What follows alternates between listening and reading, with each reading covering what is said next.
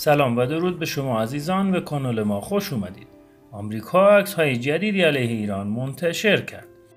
وزارت دفاع آمریکا عکس های تازه منتشر کرد که می‌گوید نشان می‌دهد نیروی دریایی سپاه پاسداران انقلاب اسلامی اخیرا در دریای عمان به دو نفکش خارجی حمله کرده است. همزمان پنتاگون می‌گوید در واکنش به درخواست مرکز فرماندهی آمریکا و توصیه رئیس ستاد مشترک ارتش آمریکا در رایزنی با کاخ سفید هزار سرباز دیگر به خاورمیانه اعزام خواهد شد. پنتاگون در بیانیهاش در مورد حمله به نفکشها در دریای عمان های تازه از بقایای بعدی از حادثه منتشر کرد و گفت یکی از این عکسها بقایای دستگاه اتصال مغناطیسی یک مین منفجر نشده را نشان می‌دهد. وزارت دفاع آمریکا در بیانیه خود گفت بنابر مدارک ویدیویی منابع و مهارتی که برای برداشتن سریع مینهای مغناطیسی لازم است ایران مسئول آن حملات است. ایران قبلا اتهام دست داشتن در آن حملات را رد کرده است. در میان متحدان آمریکا بریتانیا این شواهد را پذیرفته اما آلمان آنها را ناکافی دانسته. ارتش آمریکا همچنین می‌گوید که حدود سه ساعت بعد از دریافت گزارش حمله به نفکش فران یک قایق گشتی ایران از کشتی هیوندای دوبه که خدمه فرانت آلتر را نجات داده بود می‌خواهد آنها را تحویل دهد که این کشتی از دستور اطاعت می‌کند. یک روز بعد از حمله روز پنجشنبه 13 ژوئن به دو نفکش در دریای عمان. سنتکام ویدیویی را منتشر کرده بود که به گفته آن یک قایق گشتی سپاه پاسداران ایران را نشان می‌دهد که تلاش می‌کند یک مین عمل نکرده را از بدنه نفکش کوکوکا جدا کند.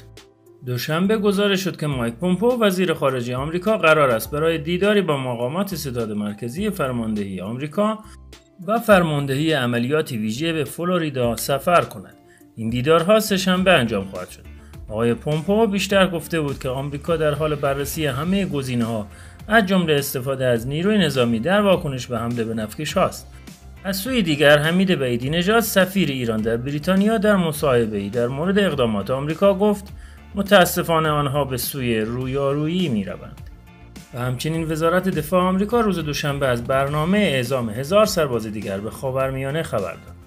پاتریک شانهان وزیر دفاع آمریکا در بیانیه ای گفت آمریکا در پی جنگ با ایران نیست اقدام امروز برای اطمینان از امنیت و سلامت خدمه نظامی ما که در سراسر منطقه کار می کنند و برای حفاظت از منافع آمریکا انجام می شود.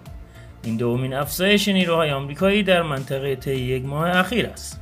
و همچنین ترامپ رئیس جمهور آمریکا روز 24 می اعزام 1500 نیروی نظامی به خاورمیانه را تایید کرده بود.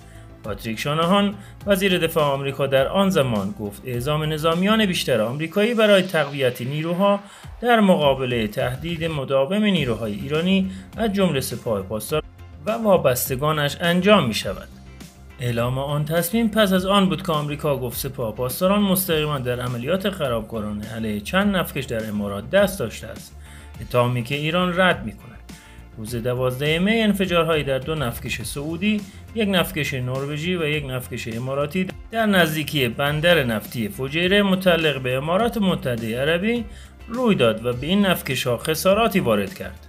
پیشتر در روز دوشنبه سرلشکر پاسدار محمد باقری رئیس ستاد کل نیروهای مسلح در جمهوری اسلامی ایران گفت که اگر این کشور اراده ای برای جلوگیری از صدور نفت از خلیج فارس داشته باشد آن اراده را به طور کامل محقق و به طور علنی و آشکار اعلام خواهد کرد. آقای باغری در همین خصوص گفته است که آمریکا این حملات را مبنای اتهام به ایران قرار داده است و تاکید کرده است که کشورش همچون آمریکا تروریست، فریبکار و ناهم کننده جهان و از ناب منطقی و بین آن فریبکاری و پنهانکاری نخواهد کرد.